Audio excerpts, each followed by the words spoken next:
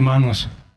Hace como dos semanas, cuando, eh, sí, dos semanas exactamente, cuando estábamos viniendo con mi hermana hacia la congregación, ya casi, ya casi entrando, faltaba unos metros para la puerta.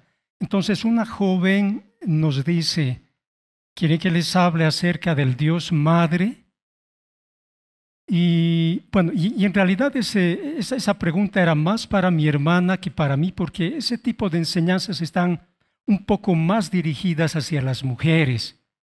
Es algo que atrae más a las mujeres.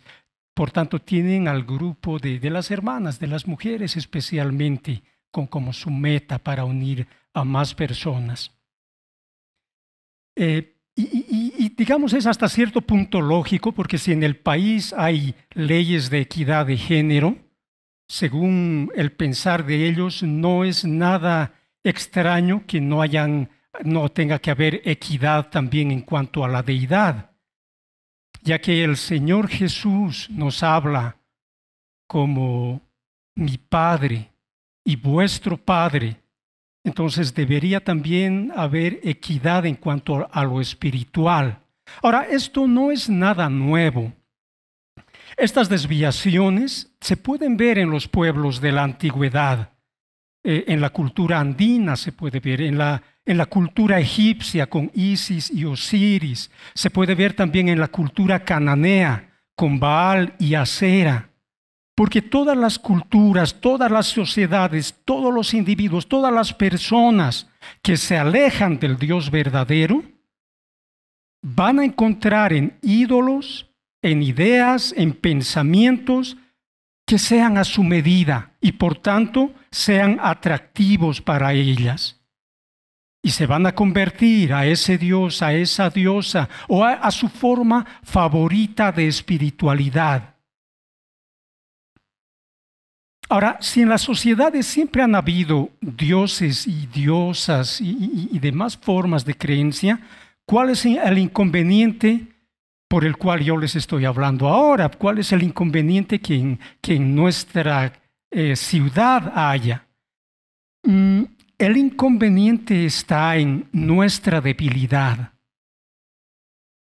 Alguno de nosotros podría alejarse de Dios siguiendo esas ideas, como de la persona joven que les hablé y al ingreso de, de nuestra congregación en la calle Comercio. Pero más allá de esta calle, también vamos a encontrar formas y tipos de dioses y formas de espiritualidad, como dice la constitución política del Estado.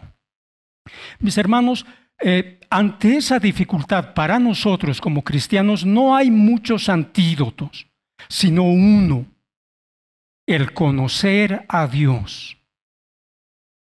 Si no conoces a Dios personalmente, vivencialmente, vas a ser un potencial eh, mercado, una potencial persona que sigas las enseñanzas erróneas, de todo tipo que fuera, de cualquier tipo que fuera de cualquier tipo de espiritualidad o de lo que se diga, y, e incluso dentro de, la, dentro de la iglesia cristiana, víctima de cualquier viento de doctrina que surja al interior de la iglesia. El antídoto ante eso es conocer a Dios. Solo ese es el antídoto, no hay otro posible. Y mi intención en esta mañana es precisamente que hablemos de esto, del conocimiento de Dios. Por eso el título para la prédica de esta mañana es Conocer a Dios, la asignatura permanente.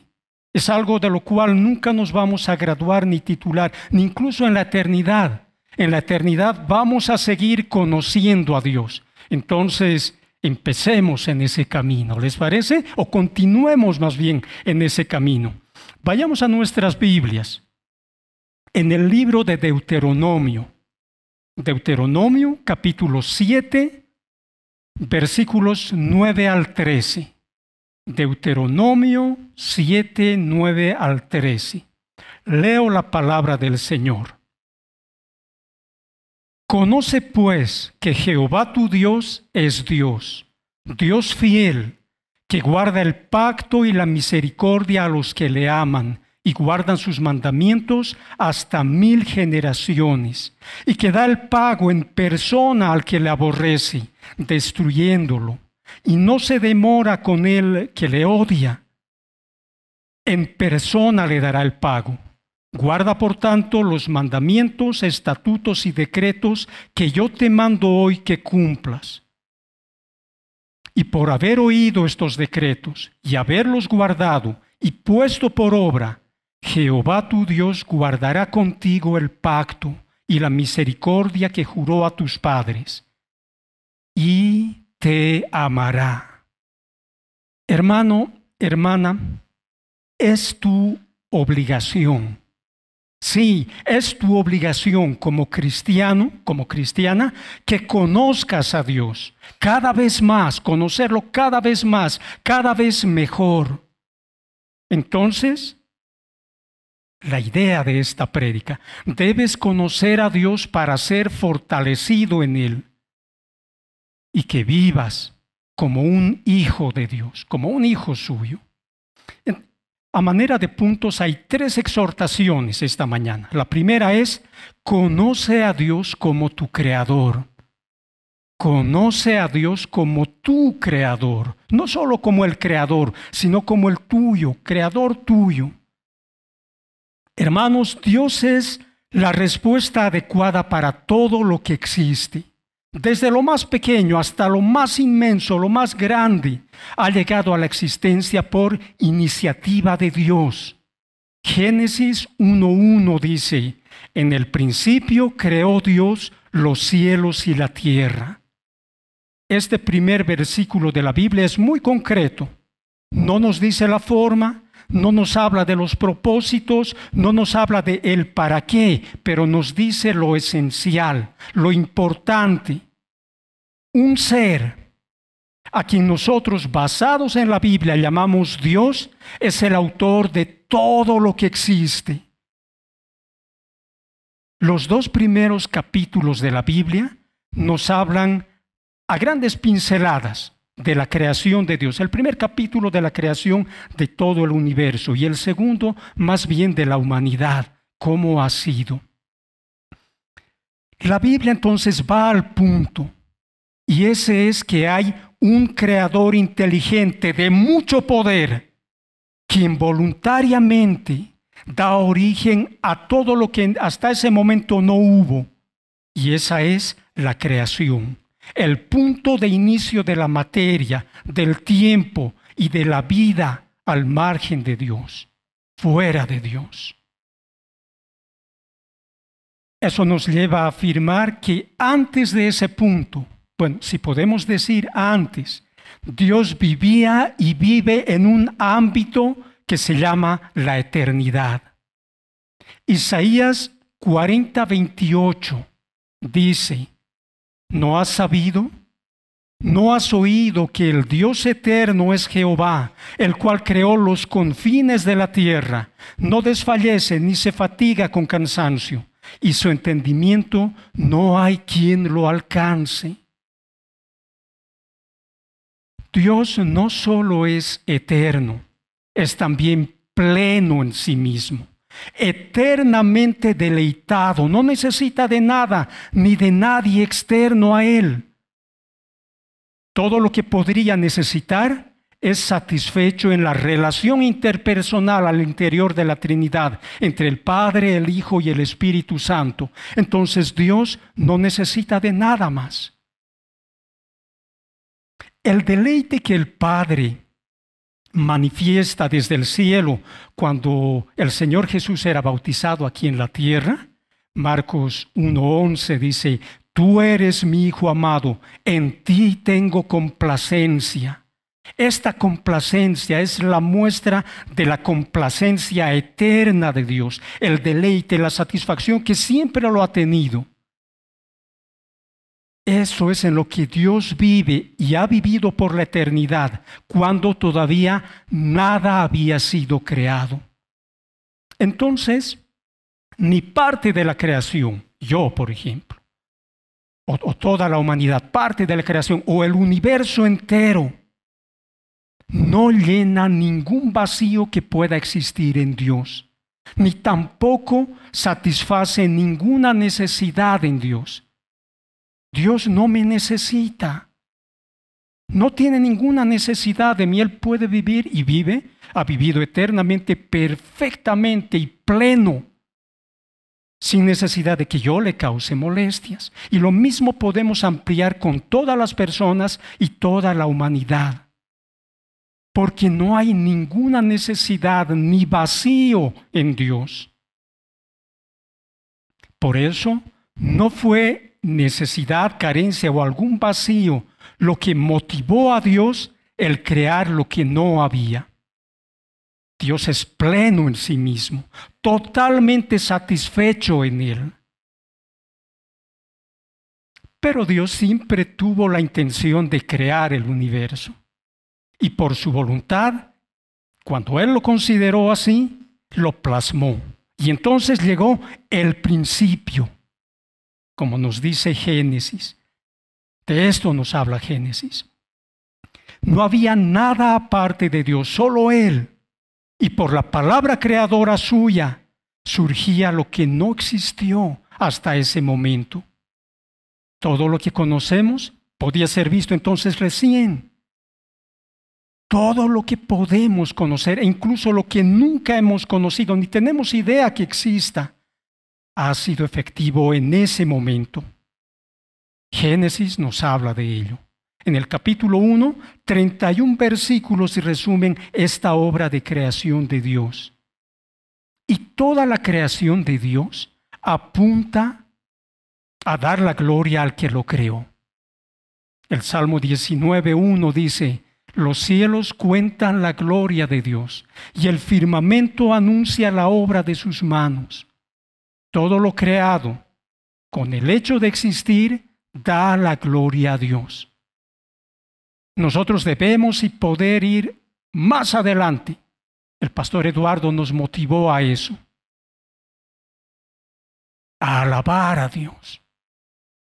A darle gracias, a utilizar los dones que nos ha dado. Pero, ¿pudo haber creado Dios en seis días, así como habla la Biblia? ¿Qué dice? La, iglesia está dividida en, cuanto a eso. Hay algunos que dicen, sí, seis años literales. Pero tenemos que considerar que cuando hablamos de Dios, nos referimos a alguien completamente diferente de nosotros. Dios no tiene limitaciones de ningún tipo. Por tanto, es capaz de hacer lo que todos nosotros juntos no podemos hacer. Y en cambio Él lo puede hacer con un cerrar y abrir de ojos. El Salmo 147, 5 dice, Grande es el Señor nuestro y de mucho poder, y su entendimiento es infinito. En el capítulo 38 de Job, las palabras que Dios dirige a Job dan la idea de inmediatez en la creación. Job, capítulos antes, había manifestado que él quería razonar con Dios de su situación, de la que estaba viviendo Job, de que sería un error, es un error de parte de Dios lo que estoy sufriendo, esta calamidad. Y desde un torbellino, Dios le llama a pararse firme como un hombre. Y empieza no a darle respuesta a lo que buscaba, sino empieza hablándole de la creación. Y le pregunta, ¿Dónde estabas tú cuando yo fundaba la tierra? Y unos versos más abajo le dice, cuando cantaban juntas las estrellas del alba, y todos los hijos de Dios gritaban de gozo. Este gritaban de gozo nos trae a la retina la ovación de los ángeles cuando Dios trae a la existencia millones de galaxias de la nada, en un instante. Los ángeles son seres espirituales y en ese momento se constituían en testigos de la creación de objetos materiales, ¿se imaginan? Los cuales habían visto por primera vez y los cuales tienen las leyes de color, forma, textura que hacen a la materia. Y surgieron en ese momento y ellos pudieron verlo. ¿Qué hicieron? Gritaron de gozo. Ahora, este hecho nos da la idea de una creación así de inmediata, porque algo que sea muy paulatino no, no nos lleva a una ovación, ¿no es cierto? La alternativa que nos plantean los naturalistas respecto al origen del universo, en palabras crudas podemos decirlas de esta manera. La creación de todo, todo lo que existe, es producto de un sinsentido, que es el resultado de miles de millones de vagos accidentes evolutivos acumulados durante miles de millones de años. Ante esa afirmación, el creador reclama la autoría del universo. Él dice ser el autor. Entonces, evalúalo. ¿Eres la suma de accidentes o casualidades que no tienen ningún sentido? ¿O estás aquí por la decisión expresa y planificada de un diseñador inteligente. ¿Cuál prefieres? O mejor, ¿cuál deseas creer? El Creador te llama a conocerlo y te llama a entablar una relación con Él. Eso es lo que en la Biblia se conoce como conocer. Eso es conocer en la Biblia. Saber de algo, y relacionarte con ese algo. En este caso, saber de Dios cada vez más y relacionarte con Dios en esa medida, cada vez más, cada vez mejor. Dios al crear la materia también creó las leyes que rijan la materia y a través de esas leyes gobierna la creación. Y también lo hace por medio de su intervención providencial es decir, viendo por anticipado los acontecimientos y moviendo esos acontecimientos hacia el cumplimiento que Él tuvo por sus propósitos al momento de crear. Nada está al azar, nada está al azar. También sustenta la creación, es decir, como que la sostiene, la palabra nos habla como que la sostiene, llevándola hacia el lugar que Él ha determinado a la cual va a llegar la creación toda. Hoy en día, cada bebé nace también como creación de Dios, es creación de Dios. Lo mismo que cada especie que puebla el planeta Tierra. Todas ellas y todo lo que existe tienen a Dios como su creador. Un profesor preguntó a sus alumnos, ¿por qué tenemos ombligo? Y uno de los niños dice, yo le digo, yo le digo, yo le digo. El profesor le da la palabra. Entonces el niño dice, Dios nos ha formado, nos ha amansado, y cuando nos puso sobre la mesa estábamos todos ahí, y luego dijo, este está listo, este está listo. Por eso tenemos ombligo. Todos somos creados por Dios. Isaías 64:8 dice, Ahora pues, Jehová, tú eres nuestro Padre, nosotros barro, y tú el que nos formaste. Así que obra de tus manos somos todos nosotros. Toda persona tiene a Dios como su creador, lo entienda o no, lo acepte o no, lo quiera o no. ¿Por qué? Porque no hay otra respuesta aceptable para la existencia de lo que existe. Cuando surgió la teoría de la evolución, y ese planteamiento que todo deviene de miles de, miles de millones de años de evolución, la iglesia quedó como sorprendida, la iglesia cristiana quedó como sorprendida sin saber qué respuesta dar. Algunos cristianos lo que, lo que hicieron es buscaron compaginar las enseñanzas bíblicas con el planteamiento de los miles de millones de años y trataron de ver de que una encaja en la otra.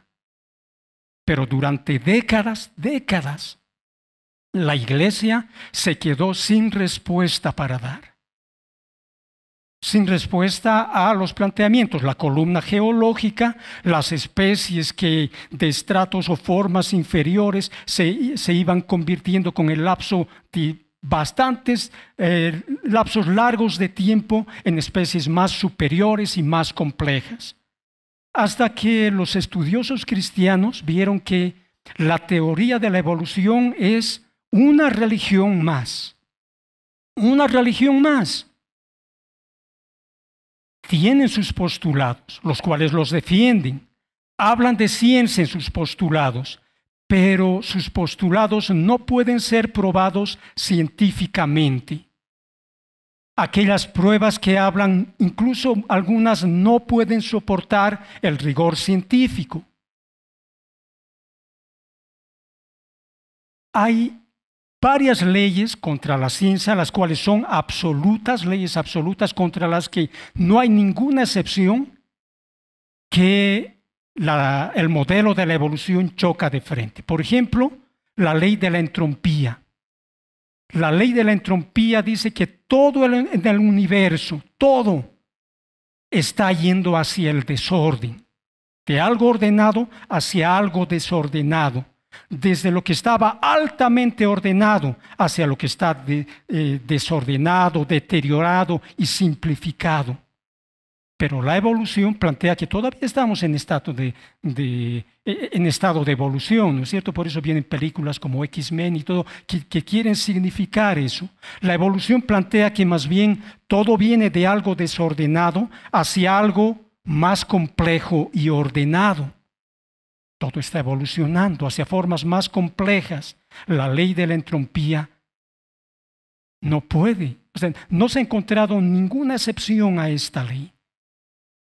Y la evolución no puede ser una de esas. El modelo de la evolución, la teoría de la evolución como se la conoce, es una religión más. Porque sus planteamientos tienen que ser creídos y aceptados por fe. Ningún evolucionista puede hablarnos de cómo fue el origen del universo. Incluso algunas de sus teorías son contradichas por ellos mismos años después. Nadie puede atestiguar cómo ha sido en el inicio, porque nadie estuvo allí.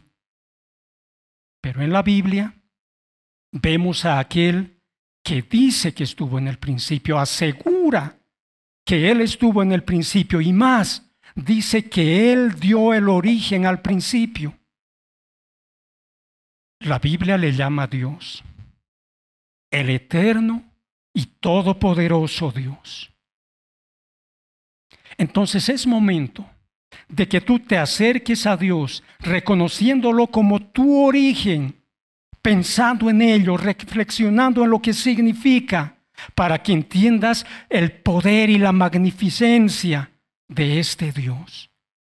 Él es el creador que hizo con las cosas, todas las cosas con un propósito, que cada una de ellas muestre al creador y le dé la gloria que le corresponde.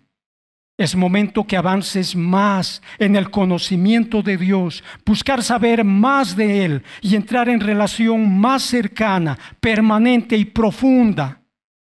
Él es tu creador y por tanto sabe lo que es mejor para ti.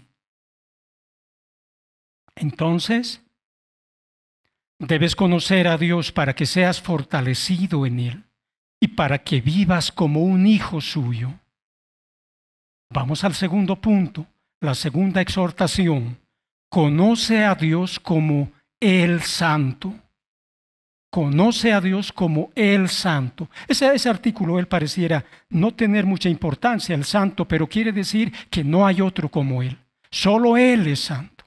Entonces, conoce a Dios como el Santo. El atributo de Dios que recibe mayor énfasis en toda la escritura es la santidad. ¿Sabían eso? ninguno de los otros atributos de Dios reciben tal énfasis, sino solo la santidad de Dios. No hay ningún versículo en la Biblia que diga, por ejemplo, que Dios es justo, justo, justo. No hay. Tampoco hay eh, una parte en la Biblia que diga que Dios es amor, amor, amor, u omnipotente, omnipotente, omnipotente. Solo la santidad recibe este superlativo absoluto. Lo multiplica hasta dimensiones que no podemos alcanzar a comprender.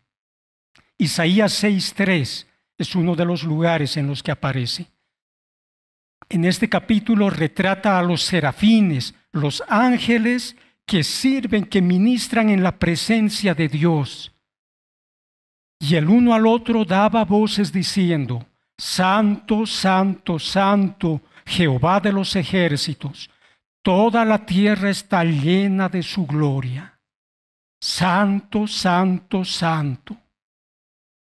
Ahora, decir que Dios es tres veces santo no expresa la profundidad de lo que los serafines están diciendo, están significando. Cuando se afirma que Dios es tres veces santo, surge la pregunta, ¿solo tres? Y de pronto, mentalmente al menos podemos buscar a alguien que sea cuatro, cinco o seis veces santo.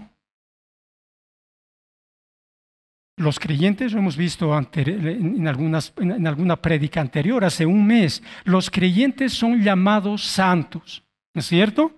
En este momento aquí está reunida la congregación de los santos, porque estás tú, y porque estás tú, y porque estás tú. Esta es la congregación de los santos. Pero una pregunta directa, ¿has conocido a alguien que sea santo?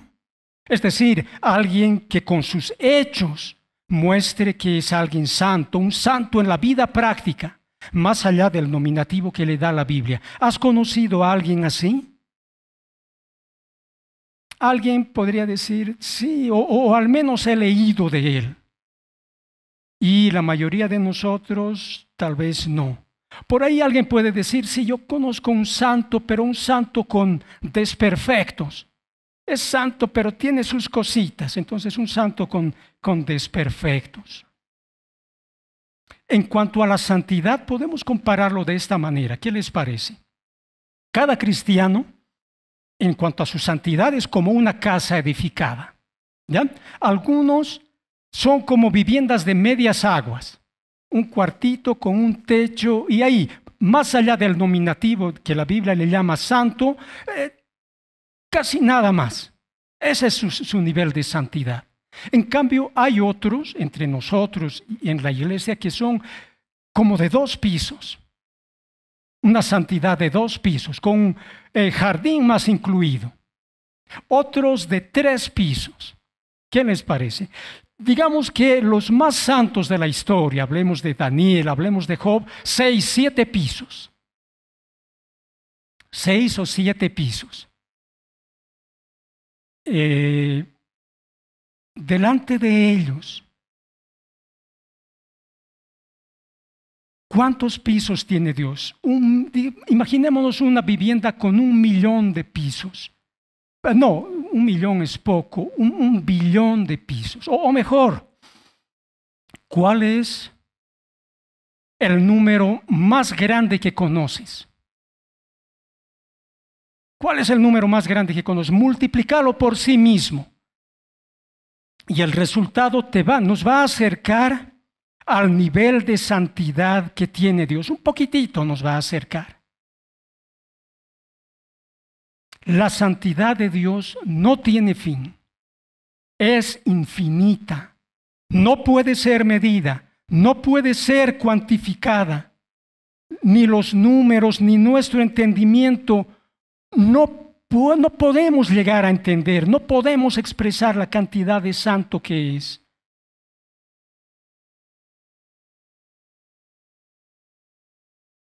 Dios es infinito, solo Él es infinito. El universo, de alguna manera, con Podemos llegar a medirlo, se puede llegar a medir. Tal vez no tenemos la medida para ello, los años luz va a resultar muy pequeño, pero Dios no puede ser medido. Y si Dios no puede ser medido, su santidad tampoco puede ser medida. Es infinito. Así es el Dios al que nos hemos acercado.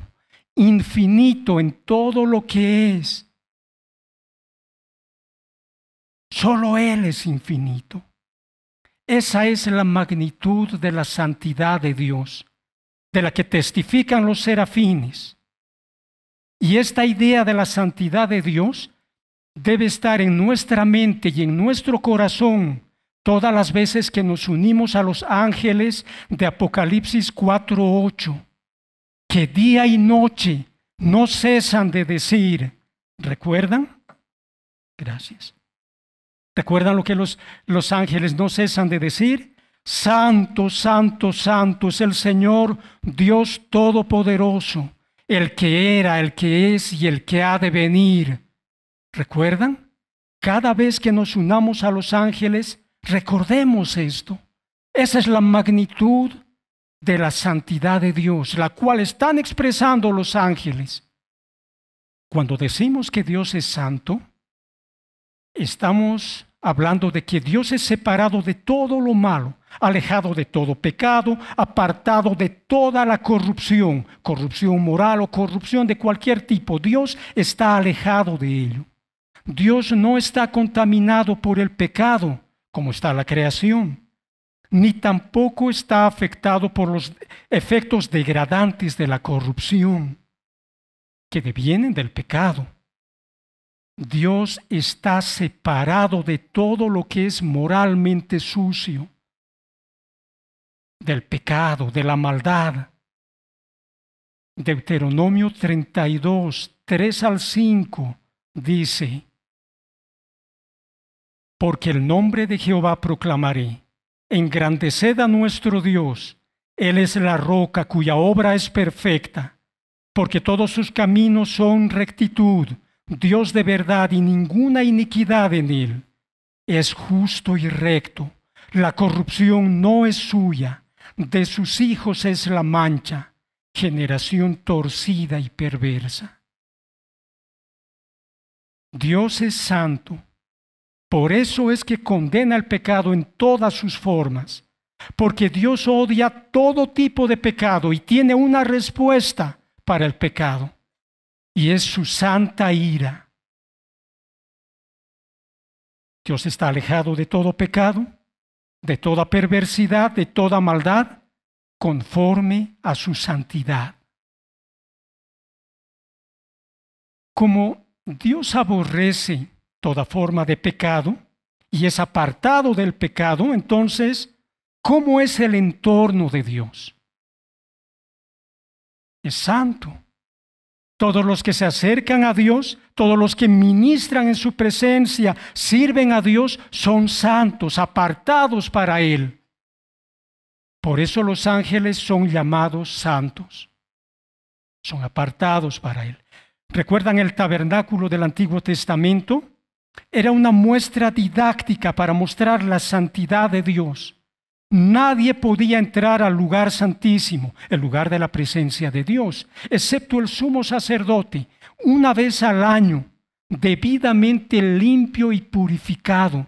Y no solo eso, tenía que entrar con sangre en las manos, que mostraba que el sustituto verdadero, el Señor Jesús, había de morir para perfeccionar la sangre que Él estaba internando al al lugar santísimo de una víctima que había muerto minutos antes y cuya sangre portaba el sumo sacerdote. Por eso, por la santidad de Dios y que todo su entorno es santo, estamos llamados a salir de nuestras medias aguas donde vivimos y edificar nuestras vidas en santidad, aquí aquí en la tierra, mientras estamos con vida, como dice Pedro en Primera de Pedro 2, 9 al 11.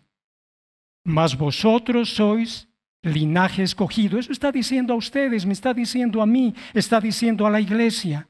Mas vosotros sois linaje escogido, real sacerdocio, nación santa, pueblo adquirido por Dios, para que anunciéis las virtudes de aquel que os llamó de las tinieblas a su luz admirable. Vosotros, que en otro tiempo no erais pueblo, pero que ahora sois pueblo de Dios, que en otro tiempo no estabais no habíais alcanzado misericordia, pero ahora habéis alcanzado misericordia.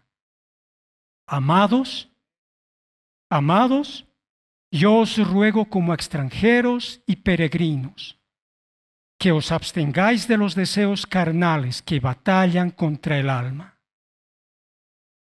Pedro me está diciendo, me dice, te dice a ti, nos dice, santifíquense, edifiquen casas de santidad, es decir, sus vidas, que lleguen a los tres, a los cuatro, a los cinco, a los seis pisos y más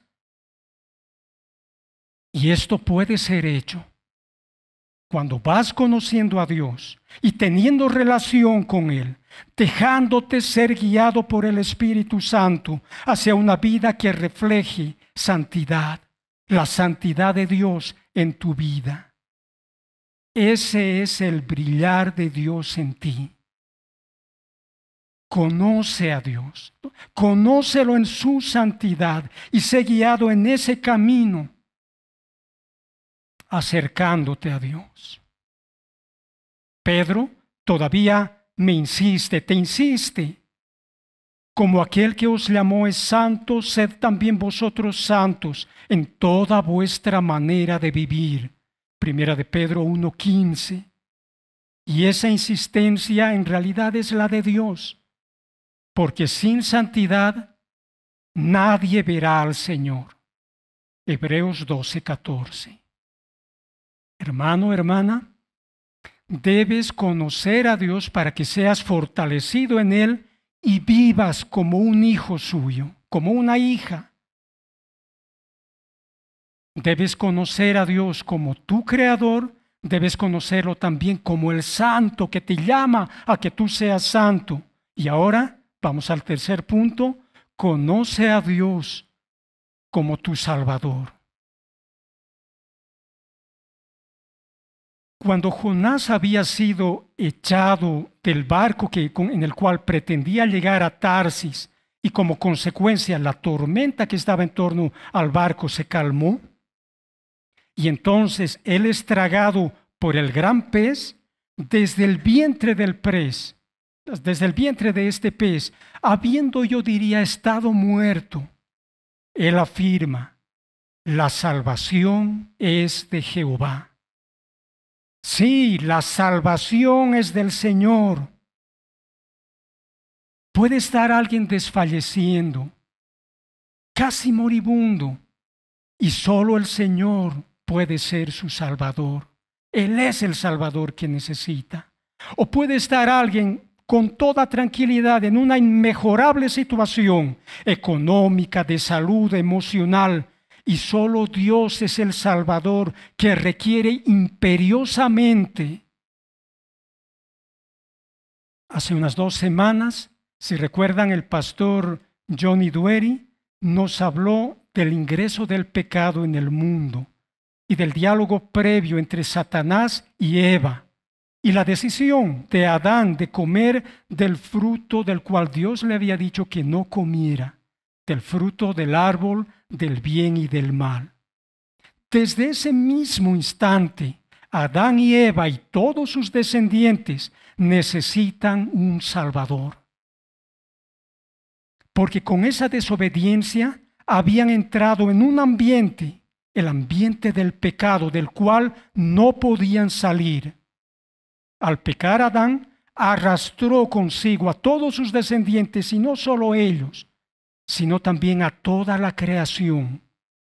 Desde entonces, el sufrimiento, la enfermedad y la muerte son el medio en el cual vivimos. Y allí estamos, en este medio.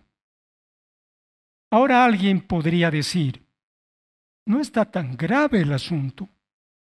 Y puede pensar, eh, así, no está tan grave, pero si nos ponemos también nosotros a meditar, también estamos muy, muy lejos de vivir en aquel paraíso que nos habla la Biblia. Todavía no terminamos de pasar por el ambiente que nos trajo el COVID, el COVID-19.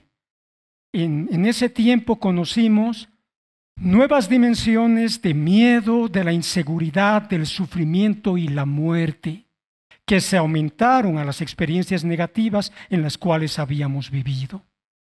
Por otro lado, recién nomás, hace unos meses, en nuestra ciudad la conversación era que pronto iba a haber racionamiento de agua. Las represas estaban vacías, pero a las pocas semanas el exceso de las precipitaciones y las lluvias torrenciales, ya nuestra preocupación era otra, se está viniendo abajo la ciudad. Porque la creación fue sujetada a vanidad, nos dice Pablo en Romanos 8, 20 y 21. La creación fue sujetada a vanidad, no por su propia voluntad, sino por causa del que la sujetó en esperanza.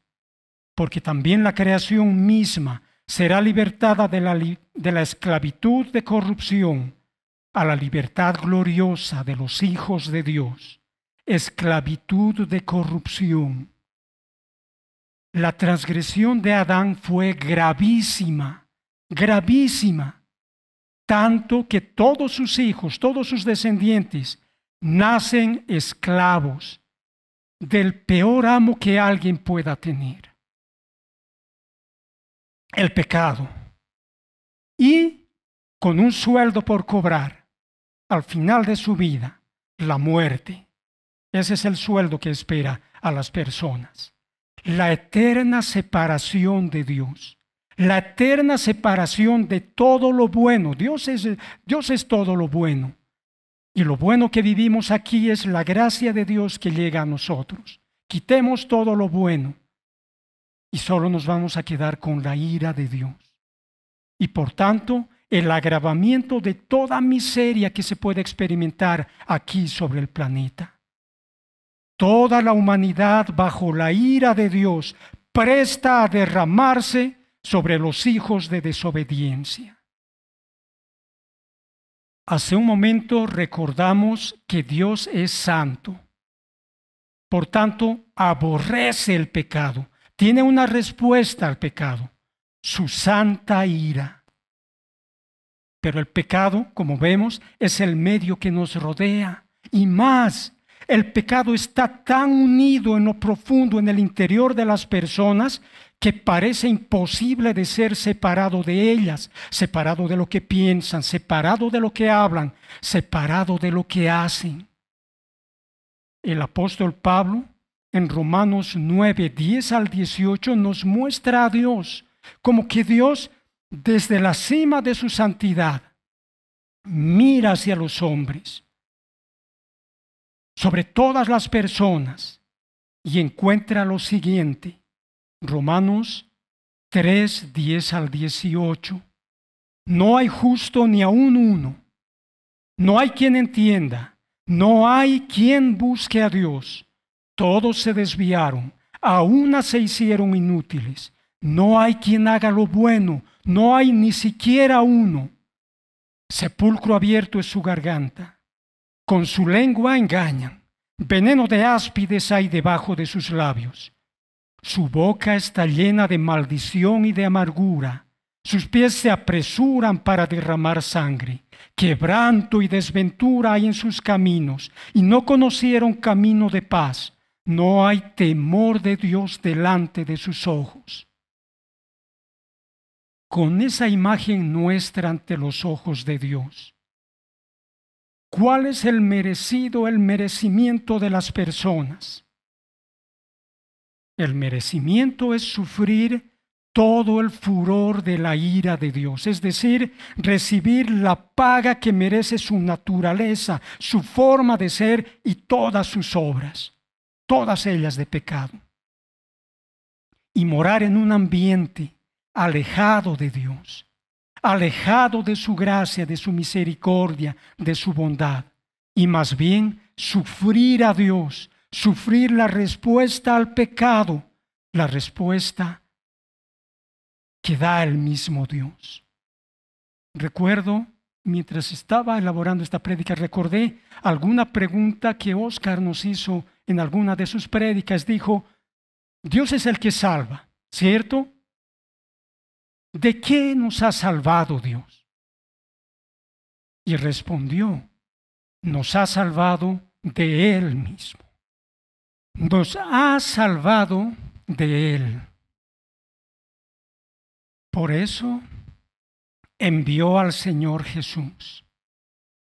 Por eso el eterno Hijo vino para llamarnos del camino de destrucción de la humanidad.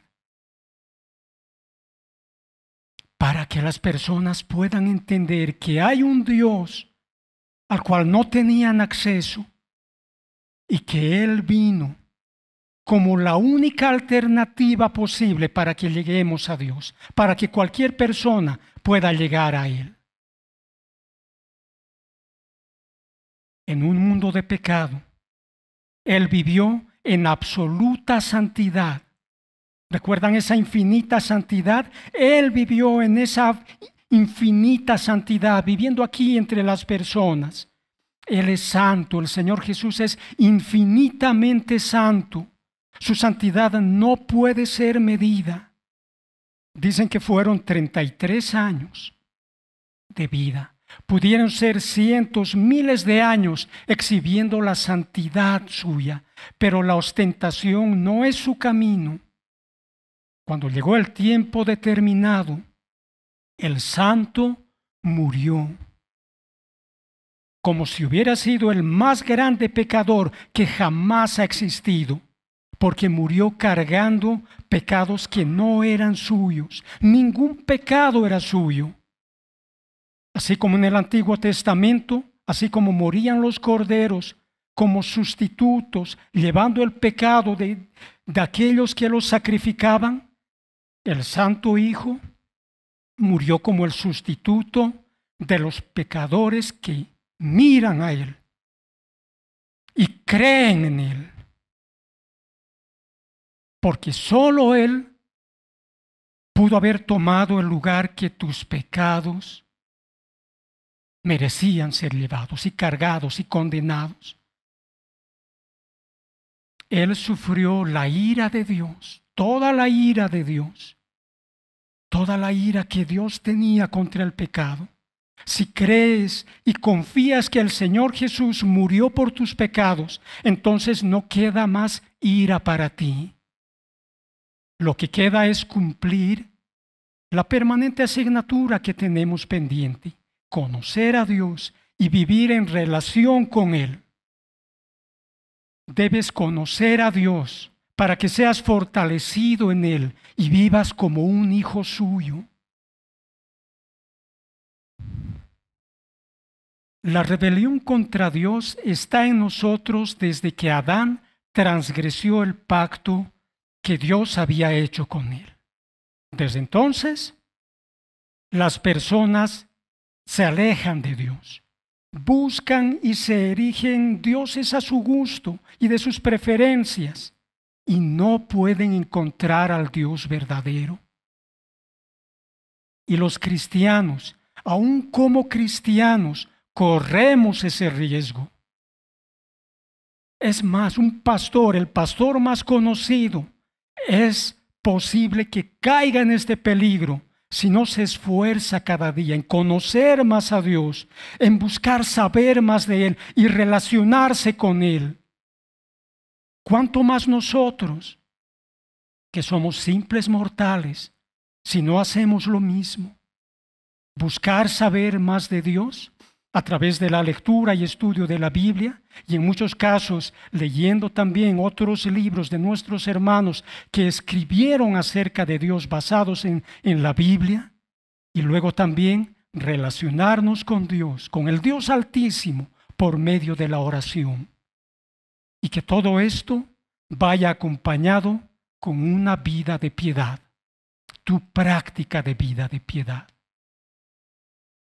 En la reciente visita del pastor Jamé Noboré contó que tras la llegada de su hijo, de su hijo menor, y cuando él estaba, el, bebé estaba en la cuna y lloraba, recordaba él en esas ocasiones, me gustaba escucharlo, me gustaba oírlo, decía. Y pienso, decía, que Dios es también así, que le gusta oír a sus hijos. Le gusta que sus hijos lo busquen, oír a sus hijos que se acerquen a Él, busquen conocerlo, entenderlo y tener una relación cada vez mayor y mejor con Él. Que tú hables con Dios, que te dirijas a Él en oración, que busques oírlo cada día porque lees su palabra y la estudias.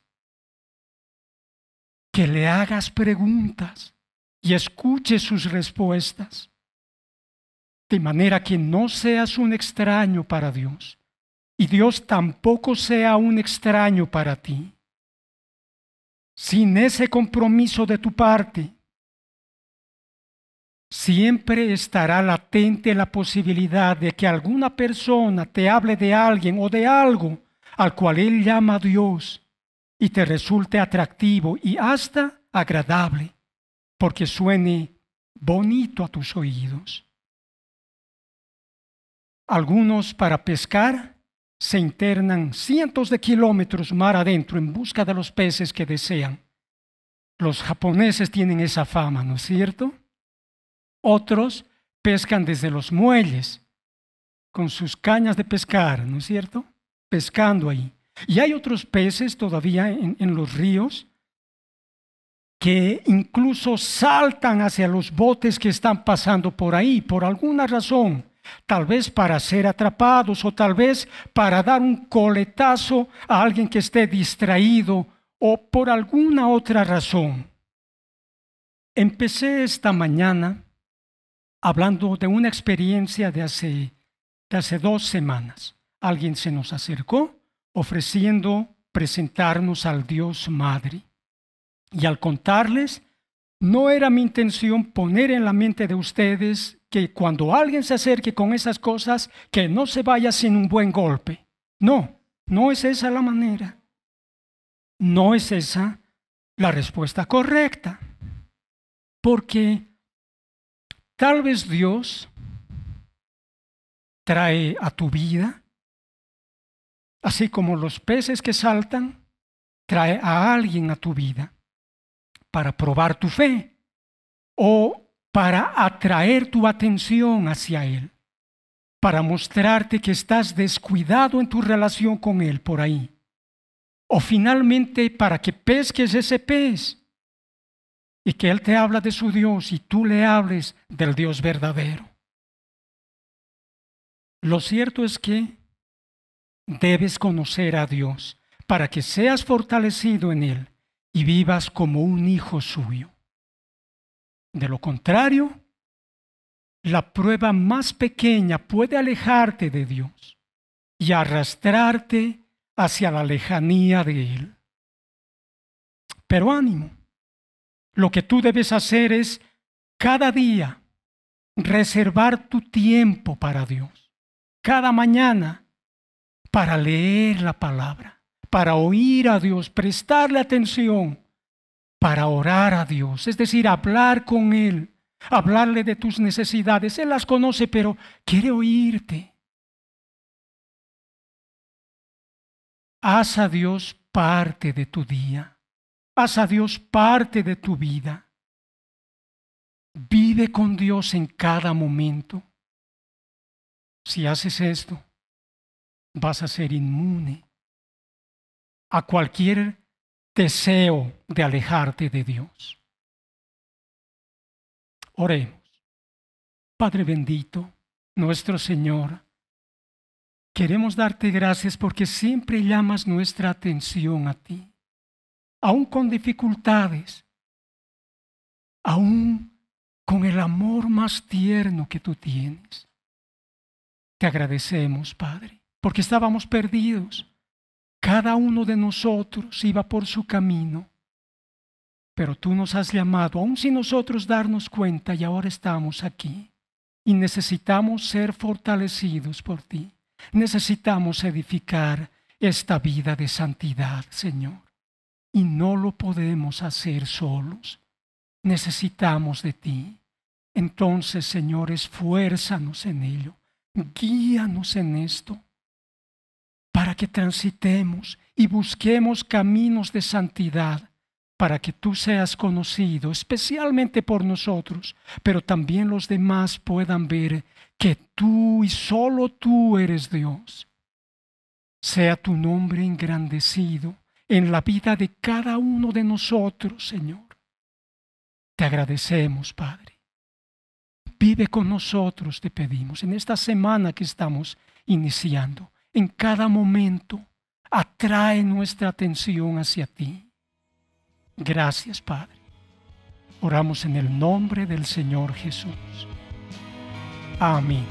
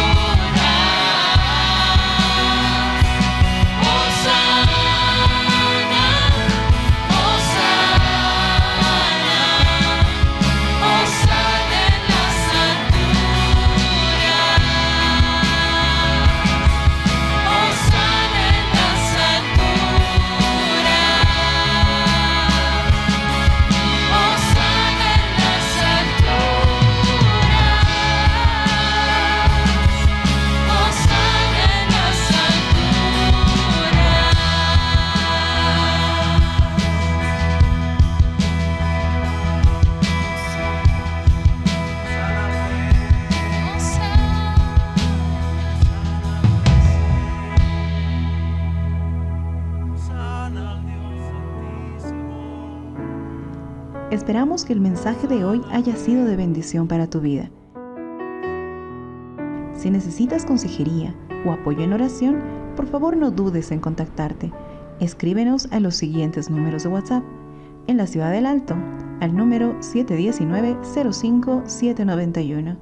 719-05-791. En la zona central, al número 732-11354. 732-11354. En la zona sur, al número 75 25 70 56 75 25 70 56 Que Dios te bendiga.